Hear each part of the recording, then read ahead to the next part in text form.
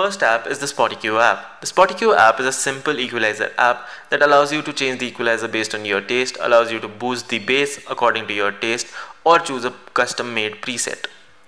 Moreover, it can also connect to your Spotify feed and change the equalizer based on each song.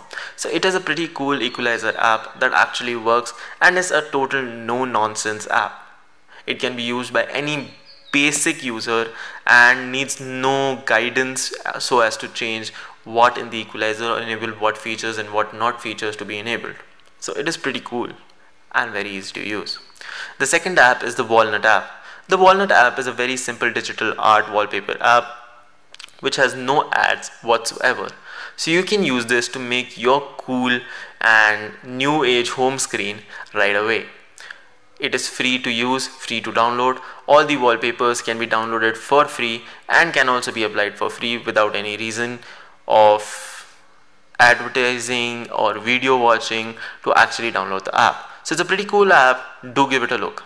As you can see, I'm using the same wallpaper on my home screen setup too. The next app is the InstaClean app. The InstaClean app is a very simple app yet serves a lot of purposes. One, it actually allows you to bulk delete all the useless emails in your inbox.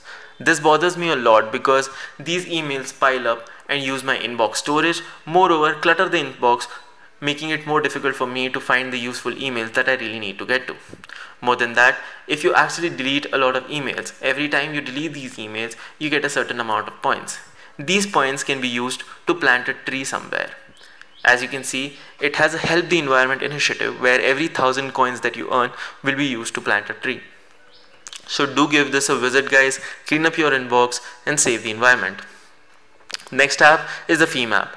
With the foregoing of Chinese transfer apps, we need a new entrant and this is a new entrant. This allows you to transfer files from your phone to PC using your Wi-Fi network. This is a closed circuit network. So basically what happens even if your laptop does not have internet connected and you connected to the same network using the phone, it will allow you to transfer any file without any limitations. You can transfer files of 10 GB, 5 GB, 6 GB without any limitations and it will not ask you to buy the premium version for it. So yes, this is a very very nice app. Next is the NewPipe app. The NewPipe app is an off Play Store app, but it allows you to watch any YouTube video at the full resolution and even download it at the full resolution. Why is this important? Because in India, the video resolution has been limited to 480p. This causes a lot of people problems because they like watching content in HD. You can use this app to download the content or even stream it in its full resolution. So you will watch it the way it's meant to be watched. The next app is an Indian government app that I really really urge people to use. This is a pretty cool app and it allows you to store documents much more securely as compared to Cam Scanner or G Drive. All you have to do is download the app named DigiLocker, enter your Aadhaar information and you can get all the documents from various ministries that there are in India and these documents can actually be shown as identity proof. For example, the driving license that you obtain from here on DigiLocker can be shown to the traffic police and you do not need to carry a hard copy of the same when showing it to the police. So it makes it much more easier for you to carry documents on your phone and this way you have less risk of losing these documents in case of any issues. Next is the Adobe Scan app.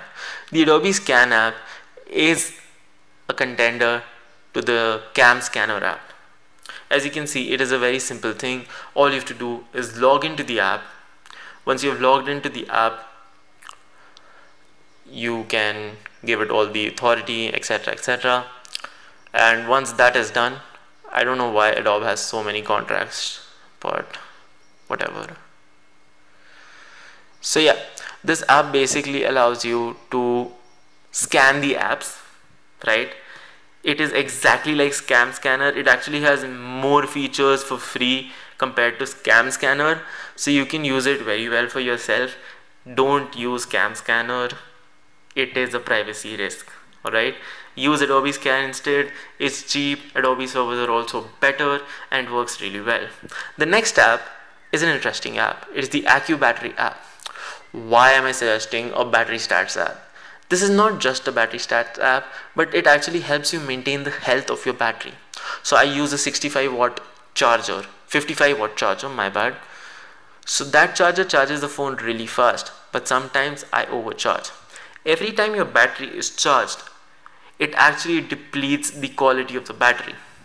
So if you keep the phone overcharging on a 55 watt charger, just imagine what it can do to your battery. This allows you to charge to amount that is good for your usage while also maintaining good amount of health of your battery. For me it is at 80%. So every time the phone goes to 80%, AccuBattery makes a vibration and sound to tell me that the charging is completed to a healthy level and any more would cause the battery to deteriorate a little. Obviously the deterioration won't be too much but this allows me to keep make sure that my battery remains in good health for a longer time.